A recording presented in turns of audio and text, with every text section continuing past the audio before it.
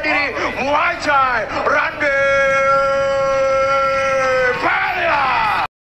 Jackson Carmela. Ini sangat sekali walaupun Wadah kok. Tentu banyak ya.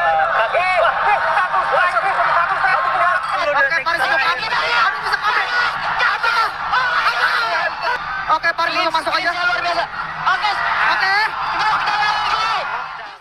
Live Beyond Combat Sobis hari ini, Sabtu tanggal 22 Juni tahun 2024, akhirnya kini kembali hadir dengan sajian duel-duel seru, yang tentu saja bakal menyita banyak perhatian. Salah satunya ada duel akbar yang sudah lama ditunggu-tunggu para penggemar, di mana sang aktor Randy Pangalila akan mencoba naik ring lagi dengan melawan atlet profesional Muay Thai, yakni KKJ. Berlangsung di tenis indoor Senayan, Jakarta, event Beyond Combat Sobis ini adalah salah satu sebuah promosi olahraga combat sport Indonesia, dan menjadi wadah untuk atlet muda. Tidak seperti biasanya yang hanya menyajikan laga tinju saja, event bertajuk Beyond Combat Sobis Volume 3 kali ini, akan ada partai kickboxing di partai puncak, yaitu pertarungan Randy Pangalila versus KKJ. Aturan duel kickboxing antara Randy Pangalila versus KKJ ini, adalah lima ronde di mana setiap rondenya akan berjalan di angka 3 menit. Tak cuma itu saja, pemenang duel tersebut nantinya juga bakal mendapatkan gelar ISKA nasional, dan sabuk kawan kickboxing beyond. Seperti yang kita tahu, nama KJ jelas bukanlah orang sembarangan di kancah olahraga tarung selama ini, dan pastinya tak perlu diragukan lagi dengan skillnya. Dengan latar belakangnya yang lebih unggul tersebut, Randy Pangalila bersiap diri sebaik mungkin, dan bahkan rela untuk tidak mengambil pekerjaan akting ataupun kerjaan apa pun, untuk berlatih selama empat bulan terakhir. Meskipun begitu, Randy Pangalila yang dikenal sebagai aktor selebriti, nyatanya Randy Pangalila juga sudah mempunyai bekal bela diri, di mana ia sudah pernah melakoni duel MMA tepatnya di tahun 2017 sampai 2019. Bukan main-main, pria kelahiran 1990 tersebut sukses menyabet dua kemenangan beruntun, yakni kemenangan KO brutal atas Fajar Ibel, dan yang kedua kemenangan TKO atas Adi Pawita.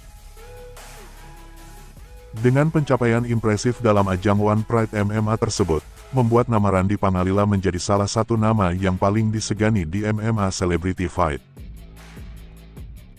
Tak cukup sampai di situ, belum lama ini Randy Pangalila juga baru saja naik ring lagi, namun kali ini terjadi di arena kickboxing. Bukan kaleng-kaleng, pada waktu itu Randy Pangalila menghadapi lawan yang bukan orang sembarangan, yakni mantan atlet nasional Muay Thai bernama Jovi Fernandez. Luar biasanya, sang aktor tampan tersebut lagi-lagi meraih hasil manis, setelah dinyatakan menang oleh juri, berdasarkan poin dalam tiga ronde yang dijalaninya. Sementara di sudut sang lawan, KKJ, datang di pertarungan ini dengan catatan yang lebih ngeri dibanding Randy Pangalila. Bagaimana tidak, dalam acara yang sama yaitu Beyond Combat Volume 1 pada 2023, KKJ meraih juara saat melawan Paris Fernandes melalui KO.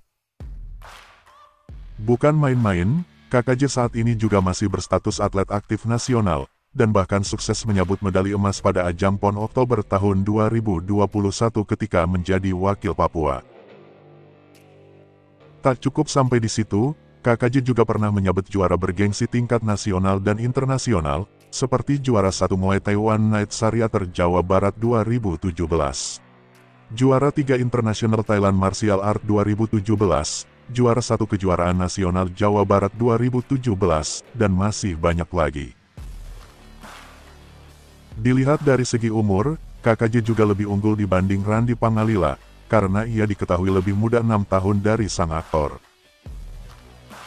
Meskipun demikian, Randy Pangalila pastinya tidak akan mudah untuk dikalahkan, dan diprediksi bakal menyulitkan KKJ dalam duelnya nanti. Sementara itu, untuk melihat siaran langsung duel Randy Pangalila versus KKJ ini sendiri, sayangnya tak bisa disaksikan secara live di TV lokal, karena duel ini hanya bisa diakses melalui aplikasi video, dan harus membayar langganan terlebih dahulu untuk menontonnya. Untuk jam tayang duel Randi Pangalila versus KKJ, dijadwalkan akan mulai pada pukul 6 sore dengan partai tambahan terlebih dahulu.